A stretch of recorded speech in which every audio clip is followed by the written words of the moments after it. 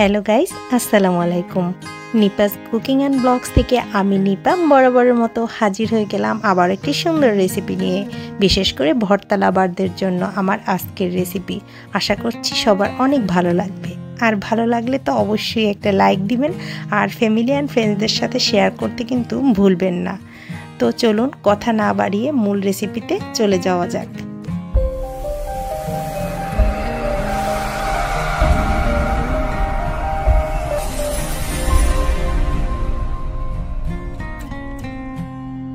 তো চলুন শুটকি ভর্তা তৈরি করার আগে দেখে নিই কী কী উপকরণ লাগছে আমাদের এই ভর্তাটা তৈরি করতে।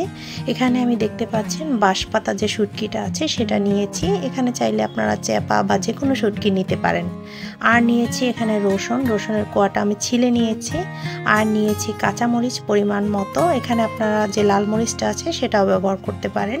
আর নিয়েছি পেঁয়াজ। এখানে আমি তিনটা পরিমাণ পেঁয়াজ নিয়েছি। আপনারা আপনাদের শুটকির পরিমাণ বুঝে কম বেশি করে নেবেন। আর লাগছে আমার সরিষার তেল। তো সব উপকরণ দেখিয়ে দিলাম। এখন আমি যে কাজটা করব, প্রথমে আমি শুটকিটা ধুয়ে নিব। এই শুটকিটা পানিতে দিলে দু এক মিনিট পরেই দেখবেন সুন্দর করে পরিষ্কার করে ফেলা যায়। আর আপনাদেরকে একটা কথা বলি শুটকিকে কিন্তু কখনো গরম পানি দিয়ে ধুবেন না, তাহলে শুটকির যে ফ্লেভারটা সেটা চলে যায়। এটাকে একটু সময় নিয়ে ধৈর্য ধরে আপনারা পরিষ্কার করে নেবেন। তো দেখতে পাচ্ছেন, আমি কিন্তু পানিতে দেওয়ার সাথে সাথে এই মাছের উপরে যে আইস থাকে, সেটা কিন্তু চলে যাচ্ছে। তো এভাবে ধৈর্য ধরে একটু মানে মানে সময় নিয়ে সুন্দর করে শুটকিটাকে পরিষ্কার করে নিতে হবে।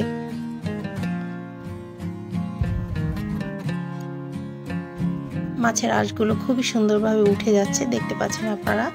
হাত দিয়ে একটু ডলে ডলে দিলেই সুন্দরভাবে পরিষ্কার হয়ে যায়। তো দেখলেন তো আমি সুন্দর করে পরিষ্কার করে নিয়েছি এবং মাথাটা, দেখতে পাচ্ছেন আমি মাথাটা কিন্তু মানে কেটে হাত দিয়ে ছিঁড়ে নিয়েছি মানে কেটে পরিষ্কার করে নিয়েছি। তো এ পর্যায়ে আমি চুলাতে চলে আসলাম। এখন একটা প্যানে আমি সয়াবিন তেল দিয়ে দিচ্ছি। এখানে চাইলে আপনারা পুরো শুটকি ভর্তাটার জন্য সরিষার তেলও ব্যবহার করতে পারেন। আমি সয়াবিন তেলটা দিয়েছি। এখন আমি শুটকিটাকে ভেজে নেব।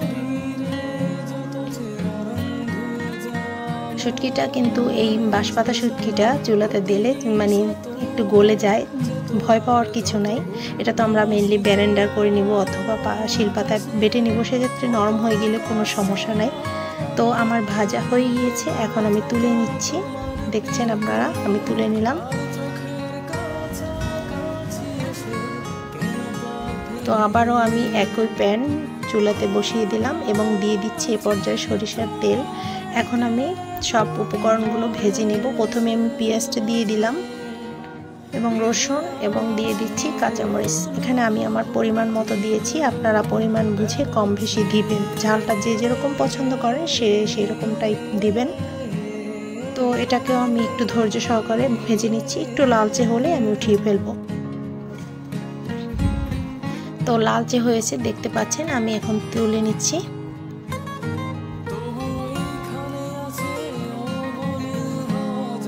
এখানে বেশি ভাজতে হবে না, একটু বাদামি কালার হলেই আপনারা উঠিয়ে ফেলবেন।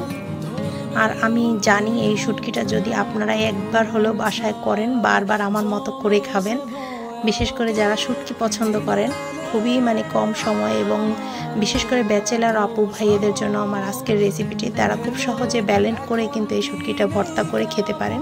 প্রথমে আমি কিন্তু শুটকিটা দিয়ে নিচ্ছি, কারণ শুটকিটাতে কাটা থাকে, সেক্ষেত্রে শুটকিটাকে আমি আলাদা আগে ব্যালেন্ড করে নিলাম। এ পর্যায়ে আমি দিয়ে দিচ্ছি সেই তেলে রাখা আমার পেঁয়াজ, রসুন এবং কাঁচামরিচ। খুব লক্ষ্য করে দেখলে আপনারা বুঝতে পারবেন এবং করে খেলে বুঝতে পারবেন যে এটা কতটা ইয়ামি একটা ভর্তা।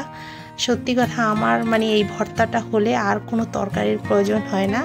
আর আশা করছি আমার আজকের রেসিপি ফলো করে যদি আপনারাও তৈরি করে খান, দেখবেন আপনাদের আর গোস বা মাছের প্রয়োজন হবে না। তো সব উপকরণ দিয়ে এখানে আমি দিয়ে দিচ্ছি কাঁচা পেঁয়াজটা। আর এই পেঁয়াজের স্বাদে, এই পেঁয়াজ দেওয়ার পরে কিন্তু শুটকির স্বাদটা আরও দ্বিগুণ হয়ে যায়। বিশেষ করে রাস্তায় যে মামারা চিতই পিঠা ভাজে এবং সাথে যে শুটকিটা দেয়, তাদের কাছ থেকে মূলত আমার আজকের এই রেসিপিটা নেওয়া এবং আমি হুবহু ওইটাই মানে তৈরি করে বাসায় খাই অনেক দিন যাবত এবং আমি দেখিয়ে দিলাম সব উপকরণ, কাঁচা পেঁয়াজ সহ বানিয়ে তারপর আপনাদেরকে পরিবেশন করে দেখিয়ে দিলাম ভর্তাটা কেমন হয়েছে। আশা করছি আমার আজকের রেসিপি আপনাদের অনেক ভালো লাগবে, বিশেষ করে ব্যাচেল আর আপু ভাইয়াদের জন্য তো অবশ্যই। আর কালারটাও কতটা সুন্দর হয়েছে, দেখতে পাচ্ছেন? এটা কিন্তু ব্যালেন্ডারে দিয়ে আমি খুব অল্প সময় করে নিয়েছি, দেখতে পাচ্ছেন? আর আশা করছি সবার অনেক ভালো লেগেছে। আর ভালো লাগলে তো বরাবরের মতো একটা কথা আবারও বলি, আমার চ্যানেলটি এখনও যারা সাবস্ক্রাইব করেনি করে ফেলবেন। তো সবাই ভালো থাকবেন। আজ এ পর্যন্ত আল্লাহ হাফেজ।